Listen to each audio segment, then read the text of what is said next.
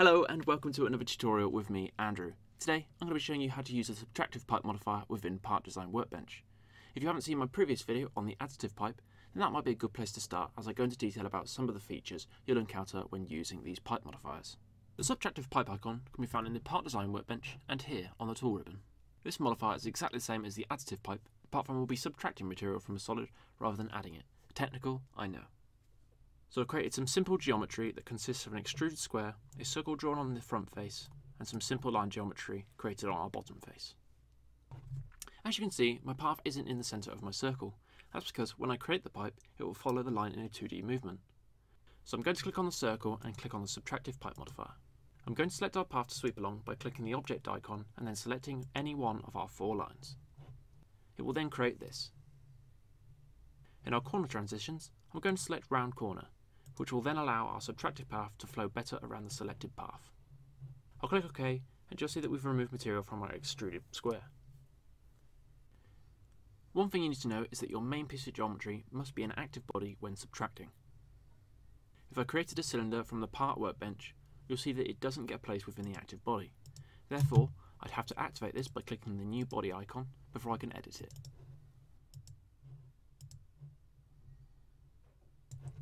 My next example will be creating a simple M10 thread. To start, I'm going to create a circle sketch on the XY plane and set that to 5mm radius.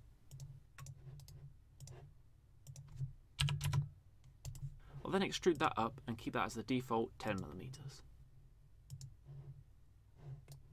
I'll add a chamfer to both ends quickly by clicking on our centre face and clicking the chamfer icon. Again, I'm going to leave that as the default, which in this case is 1mm. When creating our thread, we'll need a few dimensions. So I'm going to consult this image, which is a diagram of an ISO metric thread. This can be found in the Engineer's Black Book, 2nd edition. We'll be taking points from the bolt side as we are creating an external thread. What we'll be creating is an M10 by 1.5, 1.5 being the pitch or the spacing between each groove. So you take the pitch of the thread you are trying to create and you multiply that by the point you want to know the dimension of. So in our case it'll be 0.125 times 1.5 or 0.25 times 1.5. I've already calculated the figures we'll need, so I won't require this image. I'm now going to create a sketch on the XZ plane. So clicking on a new sketch, click on the XZ and pressing OK. Toggle into the construction mode, I'm going to create a single line with a horizontal constraint. I'll offset that from our datum point by pressing Shift V by minus 2.5. The reason I've done that will become apparent in a minute. I'm going to toggle back to creating geometry and click on the polyline tool. Starting on our construction line, we'll create a triangle. Like so. Now I just want to make sure that this is actually constrained in the vertical. I'll constrain the far right of our triangle by clicking on the vertex, pressing Shift H and setting that to 5.5. We want to set it to 5.5 and not 5 because we want this to go past this, the radius of our cylinder. While holding control, I'm going to click on these two lines and I'm going to set the angle. The hotkey on the keyboard is A. I'm going to set this dimension to 60 degrees. I'm also going to constrain this line here to the centre of our construction line by clicking these two vertices, holding control, clicking on our construction line and then hitting the symmetry icon. For the symmetry shortcut, that's S on the keyboard. I now need to create a fillet between these two lines here. So I'm going to click on this icon, which is the fillet icon. Click on these two lines, and it will create our fillet. I'm going to set the radius of this to 0.21. But for those looking to be really precise, it's 0.21645. I'll constrain the center of fillet by clicking on the center point, pressing Shift H on the keyboard, and setting that to 4.29. I now have two degrees of freedom left, our fillet and our construction line, which is the uh, overall length. If I select the center of our fillet and select the construction line, I can click on the symmetry icon and that will solve both degrees of freedom. I'm now going to close that sketch and we now have the sketch for our thread. To create a helix for our sketch to flow around, we'll move over to the part workbench and locate the creation of parameterized geometric primitives, which is here on the toolbar. I'll click it and select Helix on the drop-down. For the settings, We'll set the pitch to 1.5 as we're creating an M10 by 1.5, the height to 15 mil, and the radius to 5 mil. I'm going to leave the angle the same, as this causes the helix to move out in a cone shape depending on what angle you set it at. I'm also going to leave this drop down the same, as we're creating a right-handed helix for a right-handed thread compared to the left hand. Click and create once will give us our helix, and then I click close. I'll now move back over to the part design workbench, click on model, click on our helix, and I'm going to move that down in the Z by minus 2.5. This will make our helix overshoot both ends of our cylinder shape, hence why I also moved down our sketch 2.5 mil. That creates a better looking thread at the ends of our part. So now that we have all our parts we need to create our thread, what else? Well, as you can see, our helix is currently not in our active body. I could select our helix and click on the shape binder, which creates a reference object which transfers our selected face or line into the active body. If we don't use the shape binder tool, we'll be presented with three different options, which I will show you in just a moment.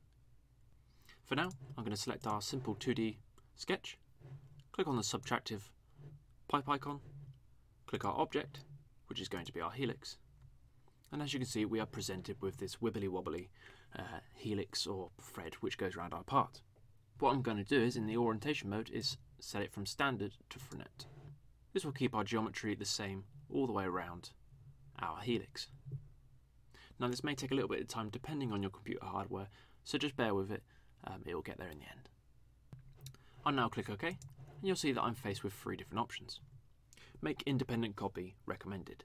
This is exactly the same as if we created a shape binder and put a copy into the active body. This allows us to delete, manipulate or resize our helix without affecting the geometry we've created. However, it's probably best not to do that just because it could potentially create an unstable part. Make dependent copy. This means that when we manipulate or change our original helix, it will affect the geometry we've made. Basically, our subtractive pipe depends on the helix path. Create cross-reference. I'm not entirely sure what this does. Obviously it's in the name, so it creates geometry that references to our helix, I guess. But at the same time, I feel like that's exactly what the other two have done. So if anyone knows what this actually does, let me know in the comments below, because there doesn't seem to be any documentation about it. 9 times out of 10, you'll want to create an independent copy. I personally can't see a use for the other two selections, but now you know they're there, maybe you'll be able to find a use. So I'm going to create an independent copy and say OK. If we hide our helix in our left left model tab, as you can see we have created our thread. Now this is just one of many ways of creating thread, threads in FreeCAD, uh, so I would suggest giving all of them a go and finding out which one actually works best for you. My third example is adding finger grips to this valve. Earlier, I spoke about how the line didn't have to be in the centre of some types of geometry, depending on what you create. Here, I have three arcs, all originating from the same origin point. I'll click on the sketch I want to sweep, in this case being the circle, and press the subtractive pipe icon. As I cycle through the different arcs from large to small, notice how the geometry of the pipe stays the same.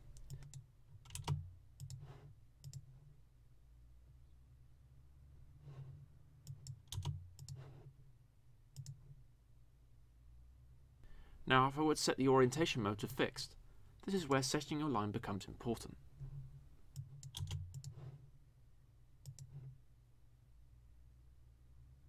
As you can see, the pipe changes with every arc. What I'm saying is, in some cases you don't have to set the line, but in others you will. It comes down to the geometry you'd like to create and the different modes you use. Now that we've got our subtractive pipe, and we've got our orientation mode set to standard, I'm going to say OK. I'm going to hide the other two sketches that we were using as examples, and you'll see that I've created a subtractive pipe within our part. I'm now going to select the subtractive pipe and click on the polar pattern icon. I'm going to select the VZ axis as our rotation point, and I'm going to set the occurrences to 5. Clicking OK will make our geometry official, and as you can see I've created some finger grips on the outside of our valve handle. I'm just going to quickly add some fillets to these corners here. And there we have it. Now, there are multiple ways to create geometry for the finger grips. You could just pocket sketch through, you could loft to a slightly larger sketch to add more flow, but to add a slight curve, or even more flow than flow, you could use a subtractive pipe. It's just as easy as the other two. As you can see, if I click through the other tabs, we get varying different geometries. So this one's a loft, and this one's just a simple pocket from our top face pocketed through. Each of them create varying geometries, but it just comes down to whatever you prefer. I think what it boils down to is number one, the geometry you're creating, and number two, what you're most comfortable with. In some ways, you'll be able to use a pocket, in others, you'll use a loft, and sometimes you might use a subtractive pipe. There is no one way to do something, and that will be all for today's tutorial. Hopefully, I've given you another tool you can add to your CAD toolkit and make your workflow a little easier. There are just so many examples and it's a shame I can't fit them all into a short video, but hopefully I've given you the basic lowdown. If you like the video, give it a thumbs up, and if you dislike the video, give it a thumbs down. Thank you so much for watching, and thank you for over 100 subscribers. It's been an awesome few weeks and I really appreciate all the comments and likes. I've got a lot more ideas planned, so we'll see what the future brings. Have an awesome weekend, and I'll see you in the next video.